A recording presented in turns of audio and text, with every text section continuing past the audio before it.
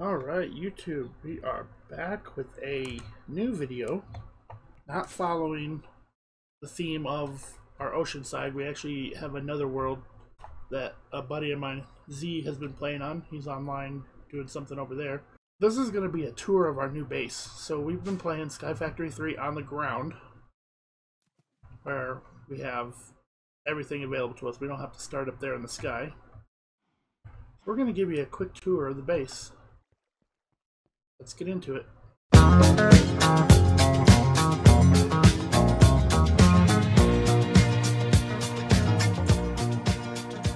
first place we're going to start is down here. This used to be our refined storage room. It's looking kind of abandoned now. Everything's been broken up, torn apart, moved around to our new base. So we just took this island. We had two islands. There's one up here and one over there made this a three level. So our original base was down here. You might have seen this on our stream.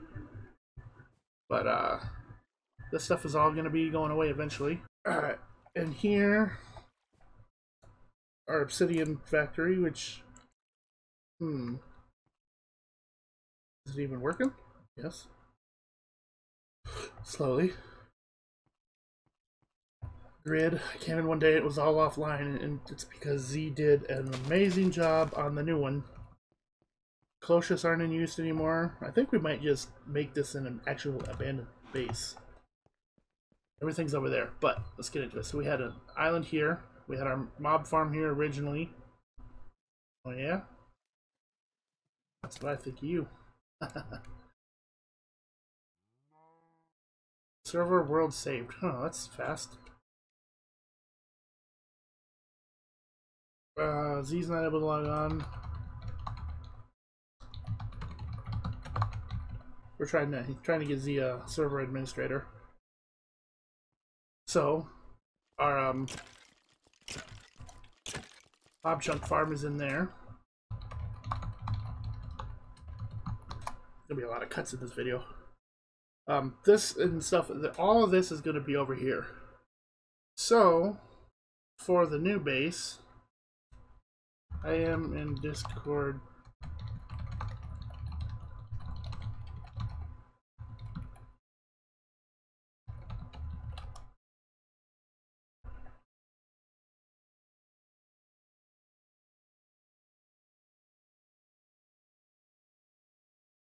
Oh, better set our spawn points.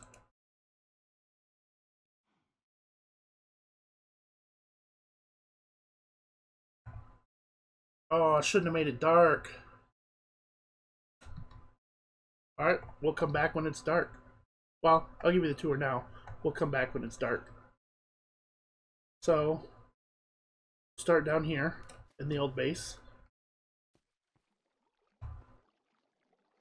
And we head down this way.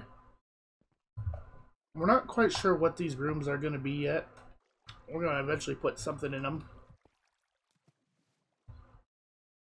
Don't walk on the glass or you'll fall out the tunnels. Uh, this is another room. We put little decorations. Have access to our grid. So we'll come up over here. I shouldn't have made it nighttime or daytime, so we'll come back and do a sky view at nighttime to show you what everything looks like from above. Because it's pretty cool. He did a lot of a lot of uh, lighting lighting effects with sea lanterns, glowstone, painted glowstone. There's our energy ball, tier 6, tier 7. I think it's tier 7. We're not going for a tier 8. This is our garden cloche area. We got more up in the sky. Uh, mob farm. And storage. Again, crafting grids everywhere. I need to change all these. Auto select. Okay. Uh, where are we at? Going down this way. This is our generator area. Eventually we're going to make a rainbow generator for all our power. We got some more down here. Very nice on the prismarine and the colors. There's a mob's compressed zombie down below us. Let's keep going.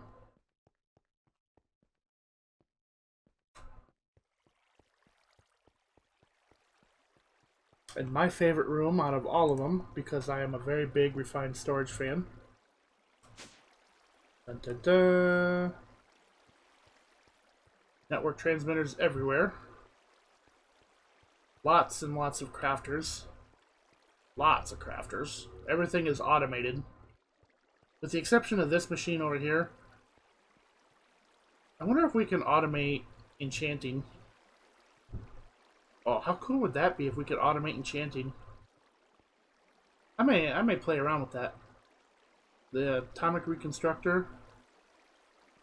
We might be able to do with some automation eventually. Uh, this is the resonator, that's all automated. Concrete. Oh, this is the painting machine. This is where he's taking glowstone and turning it into blocks. Very nice. Alright, so what time of day is it? It's still 10 a.m. in the game. By the way, we finally moved this server to an actual hosting company instead of running it on servers at my place. They technically were on servers, but they're running on my computer hardware, and I didn't work out. Z lagged a lot. Now he can move around freely. He doesn't rubber band. He doesn't. Well, he hasn't disconnected yet, but that's a record. By the way, Z, you want to hear some good news? For some reason, mine and yours, just mine and yours, server info, leaderboards, our player stats never came over. So you no longer hold the record for dying in the game. You and I are tied for the least amount of deaths. Red still has five. Time played was all reset, so it, it doesn't show the amount of time you've actually been in the game. Which is kind of disappointing because you put a lot of work. Um, number of mob kills. Zero.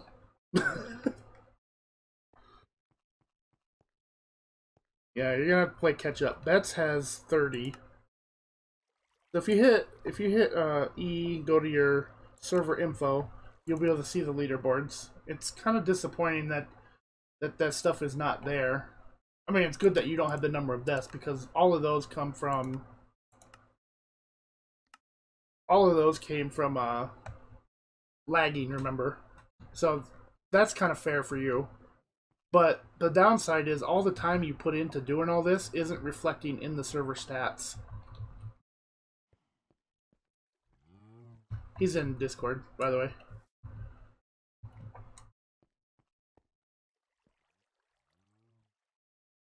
Ninety hours? Oh, is, yours showing ninety hours?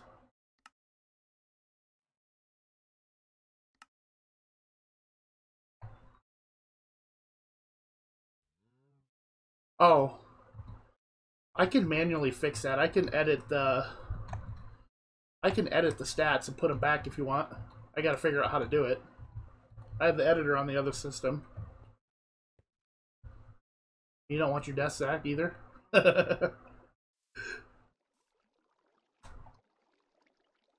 you guys can't hear him. He's not chatting, but he is typing down here in the corner. Well, that's fine. Let's get the water going on these. These things are fountains. It would look cool at nighttime. We'll put the water in at nighttime. Alright, I'm going to have to cut this video because I don't want to sit around and jabber for five hours game time. Alright, we are back and it's nighttime. We're going to grab some prosperity shards because we're empty over there. Grab that many. Grab some premium gear and whatnot. We'll head over there, and then we'll go up top, start the fountains, and show you what this base looks like at night.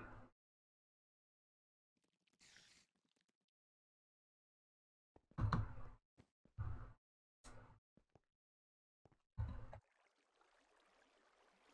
guess I don't. I can go. I can just put those anywhere.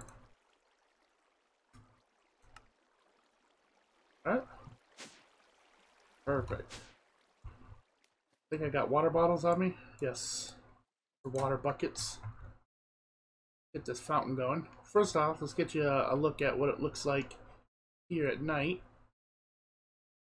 Oh, that's cool. He's been putting uh, some stuff there on top of the globes. This is our futuristic underwater ruins type base. Our storage ball. Again, we don't know where this stuff is. These are where um, all our mob farms are going to be.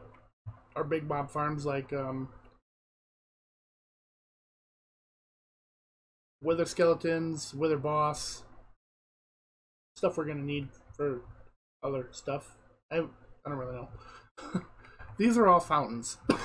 Took the water off to show you what it looks like at night. Put it all on there, let it fall down. Get the big one for last.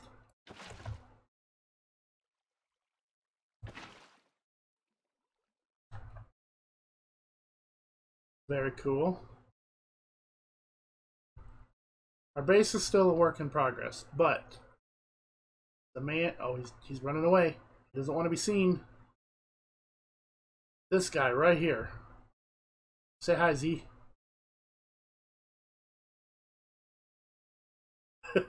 can't you can't do your little crouch thing in the air. Yeah, you can. Oh, I'm going down. This guy right here has spent 90 hours putting this base together while I was out on vacation. If you would have seen it before in our streams, we had like an old mob, old style mob tower here, mob grinders down below, our base. We had to go over there. Everything's going to be more consolidated here now. And it looks very, very cool at night.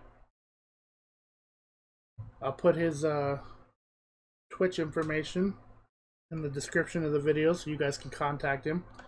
He may or may not charge you in-game diamonds for coming up with cool designs. But definitely worth getting his input. Everything that I've learned in this game from Sky Factory 3 has come from two people, the real Pygon and Z. And most of the design stuff that we've done in all of our bases has come from Z. This guy is a genius.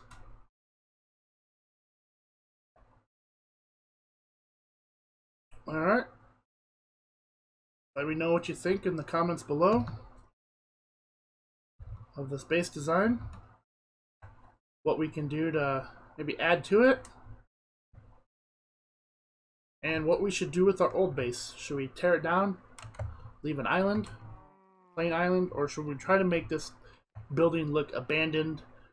Like nothing is even in... Oops, we're almost out of power. Like nothing is even being used in here anymore.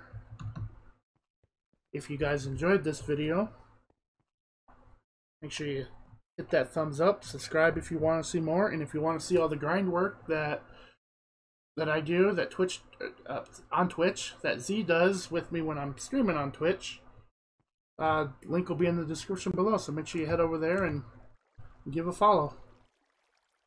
I will see you guys on the next live stream. I did forget to mention that this is a public server. Anybody is willing to join. It can hold up to roughly, they say 80 people, but I don't know if we're going to get a full 80 on here, but you're welcome to come in, start a base anywhere in the world. Let's open up the map here.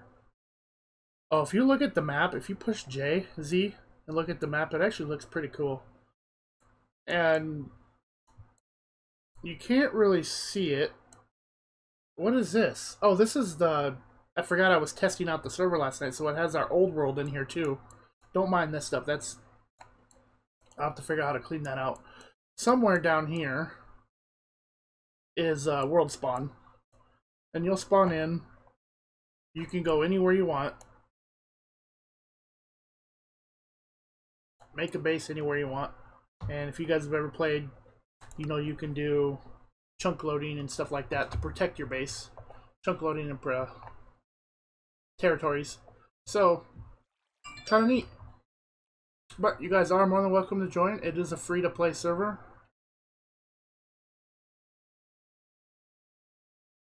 Enjoy.